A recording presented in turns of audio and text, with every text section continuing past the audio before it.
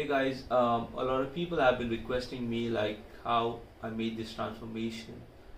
and how I'm able to look the way I'm looking right now and how was how I was able to achieve it. So it's all about how uh, mentally prepared you are because it's not easy to make a transformation let it be mentally and physically but it's all about how far you can push yourself mentally like um, there are days like i feel like giving up like trust me uh, transforming yourself it's not easy and um, when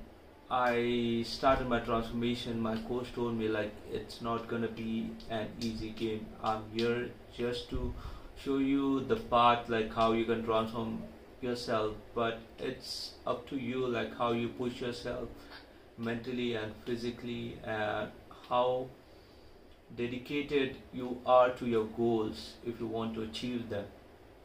So um, it's been an amazing journey, like day in and day out. Like for these past few months, I've been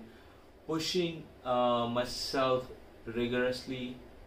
and I've been um, doing empty stomach cardio every morning, half an hour, and I've been doing um, workouts for almost like uh, 90 minutes to two hours in the evening to get this physique like but there are a few days that I feel like giving up. It's not possible for me to push myself but my inner self just says like you haven't pushed yourself so far for nothing. So um, if you're prepared mentally and physically to push yourself at a certain limit it's gonna be an easy journey but you need to find people and environment around you you need to choose it yourself who's gonna help you to push yourself and what changes you can make in your